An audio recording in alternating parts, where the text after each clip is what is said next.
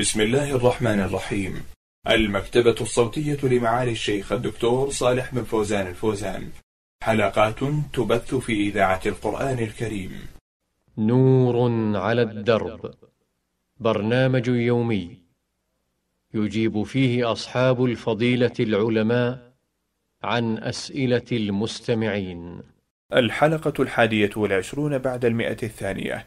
بسم الله الرحمن الرحيم الحمد لله رب العالمين والصلاة والسلام على قائد الغر المحجلين نبينا محمد وعلى آله وصحبه أجمعين مرحبا بكم أيها الإخوة والأخوات في لقاء متجدد في برنامج نور على الدرب وضيف هذا اللقاء هو فضيلة الشيخ صالح بن فوزان الفوزان عضو هيئة كبار العلماء وعضو اللجنة الدائمة للإفتاء أهلا ومرحبا بالشيخ صالح في هذا اللقاء حياكم الله وبارك فيكم هذا الأخ سوداني يقول فضيلة الشيخ ما معنى الآيات الكريمات في سورة القيامة؟ كلا إذا بلغت التراقي وقيل من راق وظن أنه الفراق والتفت الساق بالساق إلى ربك يومئذ المساق. بسم الله الرحمن الرحيم. الحمد لله رب العالمين. صلى الله وسلم على نبينا محمد وعلى آله وأصحابه أجمعين. في هذه الآيات الكريمات تذكير بالاحتضار وحضور الموت. ليتذكر الإنسان ذلك ويتصوره فيتوب إلى الله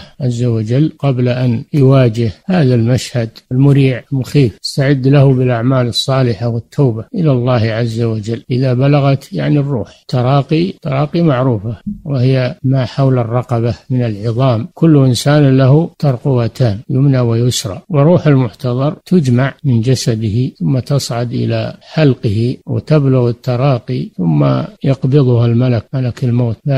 فالله جل وعلا يذكرنا بذلك. ولا يعلم متى يقع هذا بالنسبة للإنسان إلا الله جل وعلا. وما تدري نفس ماذا تكسب غدا وما تدري نفس بأي أرض تموت. وهو قريب. كل ما هو قريب صور الإنسان هذا ولا يغفل عن الموت. وقيل من أرى قيل معناها أن الملائكة يسأل بعضهم بعضا من الذي يرقى بروحه ويصعد بها إلى السماء؟ هل تقبضها ملائكة الرحمة ويصعد بها إلى الله؟ تفتح لها أبواب السماء ثم يأمر الله بها أن ترجع إلى الأرض أو أن تقبضها ملائكة العذاب يذهبون بها إلى سجين والعياذ بالله. وقيل إن المراد بذلك أن أهل الميت يطلبون له الرقية يطلبون له من يرقيه طلبا للشفاء. وقد فات الأوان فلا تنفع الرقى ولا الأدوية ولا شيء. وظن أي المحتضر أي تيقن أنا ظن هنا تيقن أنه الفراق أن هذا هو الفراق وهو الموت. فراق الدنيا وفراق الأهل والأحبة فراق المال أنه الفراق الذي لا عودة بعده إلى الدنيا. ظن أنه الفراق. وتفت الساق بالساق قيل هذا معناه أن الميت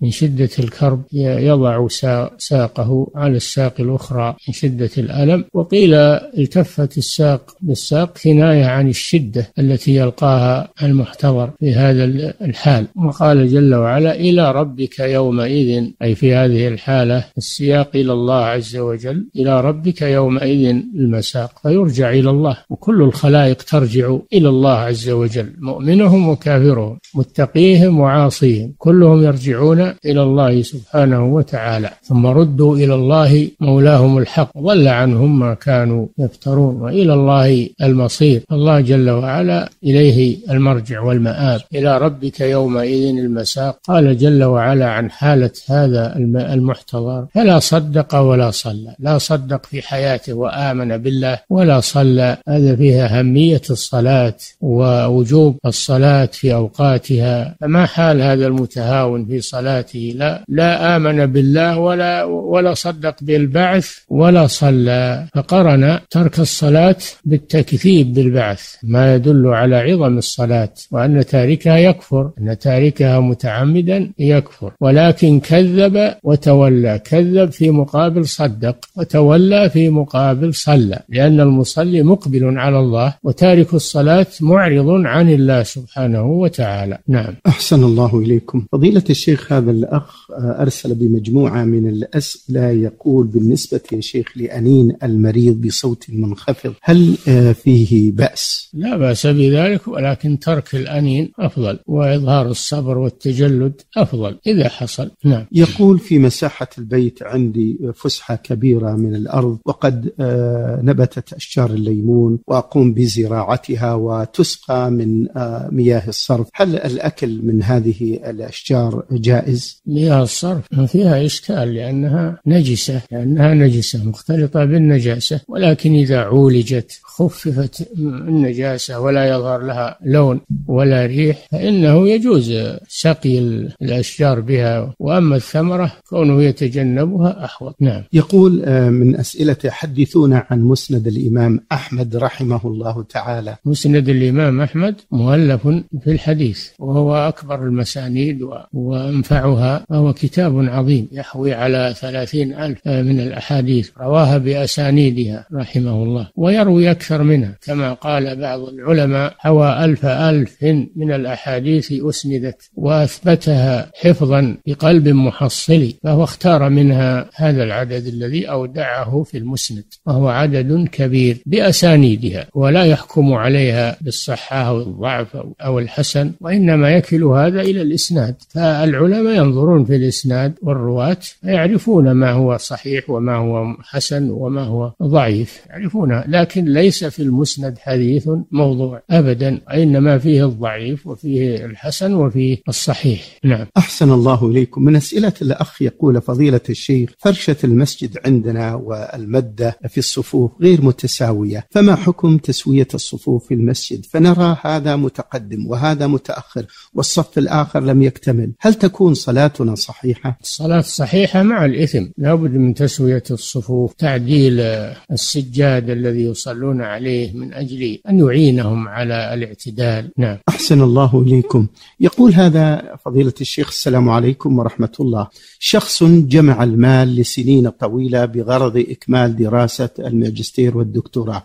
وقد بلغ هذا المال نصاب الزكاة لكنه لم يخرج هذه آه، الزكاة لأنه سأل من كان عنده ممن يظن فيهم العلم فأخبروه بأنه لا تخرج الزكاة من هذا المال إذا كان بهذه النية. فما الحكم الشرعي في هذه القضية؟ هذه الفتوى غلط خطأ. لا يجوز لهم أن يفتوا بغير علم. المال إذا بلغ النصاب وحال عليه الحول وجبت فيه الزكاة لأي نية ينوي للدراسة أو بناء المساكن أو للزواج أو غير ذلك من الحوائج. نعم. فضيلة الشيخ آه، تقول الأخت أم عبد الله يتردد بيننا عبارة بين النساء وهو قولهم الله ما رأيناه لكن بالعقل عرفناه. هل هذه صحيحة؟ المعنى صحيح أن الله سبحانه وتعالى لا يرى في الدنيا لا يرى بالعين في الدنيا بالأبصار وإنما يراه المؤمنون عيانا دار الآخرة إكراما لهم يرونه في الجنة إكراما إكراما لهم لأنهم آمنوا به في الدنيا ولم يروه فأقر أعينهم برؤيته يوم القيامة. والكفار لما كفروا به في الدنيا ولم يؤمنوا به حجبهم الله عن رؤيته. قال تعالى كلا إنهم عن ربهم يومئذ لمحجوبون. الله في الدنيا لا يرى بالبصر وإنما يرى بالبصيرة والقلب والعقل وذلك بالنظر في آيات الله الكونية والنظر في آيات الله القرآنية. تأمل فيها لأن الأدلة تدل عليه سبحانه وتعالى. كما قال الشاعر فيا عجبا كيف يعصى الإله؟ أم كيف يجحده الجاحد؟ وفي كل شيء له آية تدل على أنه واحد. نعم. جزاكم الله خيرا يقول فضيلة الشيخ هذا السائل وفقكم الله يا شيخ صالح. سؤالي إذا ذهبت إلى الحمام أكرمكم الله وفي نهاية البول نزل ما يشبه السائل المنوي ووقع على ملابسي فقمت بفركه وغسله بقليل من الماء وصليت صليت بنفس الملابس لأنني كنت في العمل فهل الصلاة صحيحة؟ ما دام أنك غسلته بالماء وهو ليس بولا وإنما هو مذي أو ودي غسلته بالماء ولو نضحا بالماء لا بأس بذلك ويكفي هذا لأن نجاسته مخففة. أما إذا كان بولا إذا كانت قطرات من البول فلا بد من غسلها لأنها نجسة نجاسة ثقيلة فلا بد من غسلها حتى تتيقن زوالها. نعم. هذا مقيم في إحدى الدول الغربية. أرسل بهذا السؤال. يقول فضيلة الشيخ أنا شخص قدر الله علي وارتددت عن ديني والعياذ بالله ومن الله علي بعدها بالهداية وهداني للإسلام. فاغتسلت ونطقت الشهادة وأرجو من الله الثبات ومنكم الدعاء. السؤال هل يحبط عملي السابق أي قبل أن أرتد عن الدين؟ وهل يلزم علي أن أعيد فريضة الحج؟ فقد ارتدت عن ديني بعد أن حجيت وأنا الآن مسلم والحمد لله. الحمد لله الذي هداك للإسلام والتوبة ونسأله أن يثبتنا وإياك على دين الإسلام إلى أن نلقاه به. آمين. وأما أعمالك التي قبل الردة قد اختلف العلماء فيها، فمن تاب بعد ردته هل تعود له أعماله بعد التوبة أو لا؟ على قولين منهم من يرى أنها تبطل ولا تعود. ومنهم من يرى أنه إذا تاب إلى الله ورجع إلى دينه أنها تعود له. على قولين لأهل العلم. ومن ذلك الحج. كونك تحج مرة ثانية أحوط لك. وأبرى لذمتك. نعم. أحسن الله إليكم. فضيلة الشيخ هذا السائل أرسل بهذا السؤال يقول ما حكم جمع توقيعات المأمومين لفصل إمام مبتدع ويدعو إلى هذه البدعة جهارا نهارا؟ فما الحكم في ذلك مأجورين؟ إذا ثبت أنه مبتدع وأنه داعية إلى البدعة فلا بد من الإنكار عليه ولا يصلح أن يكون إماما لأنه قدوة يقتدي به غيره فيجب السعي في إبعاده عن الإمامة. وما فعلتموه إذا صح ما ذكرته ما فعلتموه هو الصواب. نعم. أحسن الله إليكم. يقول فضيلة الشيخ ما سبب اختلاف العلماء والآية الكريمة تقول اليوم أكملت لكم دينكم اختلاف العلماء بسبب اختلاف وجهات نظرهم في الأدلة. إذا كانت الأدلة محتملة وكل أخذ منها باحتمال هذا في المسائل الفقهية. أما الأصول والعقيدة فلا اختلاف فيها لأنها ليست محلا للاجتهاد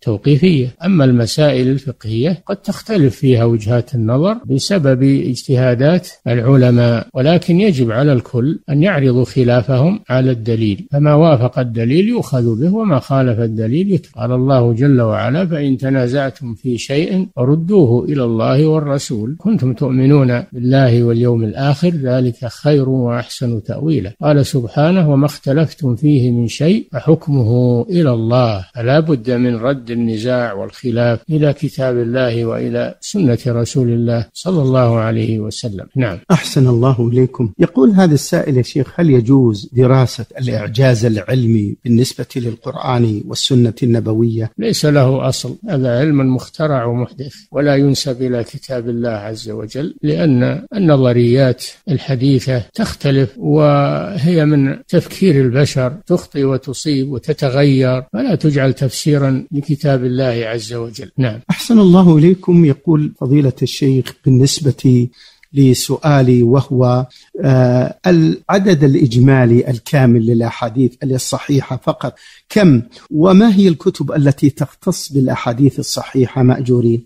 لا تحصى الأحاديث الصحيحة ولله الحمد يصعب حصرها. وأما مضان الأحاديث الصحيحة فهي موجودة في كتب الصحيحين صحيح البخاري وصحيح مسلم صحيح ابن حبان وصحيح ابن خزيمة. توجد فيها الكتب الملتزمة بالصحة توجد فيها الأحاديث الصحيحة وعلى رأسها الصحيحان صحيح البخاري صحيح مسلم. نعم. جزاكم الله خيرا. فضيلة الشيخ هذا السائل يقول هل المصيبة في المال سببه أو تكون من غضب الله على الشخص؟ المصيبة قد تكون عقوبة. ما أصابكم من مصيبة بما كسبت أيديكم ويعفو عن كثير. وقد تكون المصيبة لأجل رفعة العبد رفعة درجته عند الله. لأجل رفعة درجته عند الله عز وجل. قد يكتب الله له منزلة عالية في الجنة لا يبلغها بعمله. فيقدر عليه مصائب ليصبر عليها فيؤجر يرتفع منزلته في الجنة. قد تكون المصيبة تكفيرا لسيئاته وذنوبه وما يصيب العبد هو ما يصيب المسلم هو خير له. على كل حال هو خير له لأنه إما تكفير وإما رفعة للدرجات وإما عقوبة على معصية ليتركها ويتوب إلى الله منها. نعم. شكر الله لكم وفضيلة الشيخ وبارك الله فيكم وفي علمكم ونفع بكم الإسلام والمسلمين. وانتهى هذا اللقاء الذي سجل مع فضيلة الشيخ صالح بن فوزان الفوزان عضو هيئة كبار العلماء وعضو اللجنة الدائمة للإفتاء. هذه تحية من زميلي مهندس الصوت عثمان بن عبد الكريم الجويبر الذي سجل هذا اللقاء. السلام عليكم ورحمة الله وبركاته.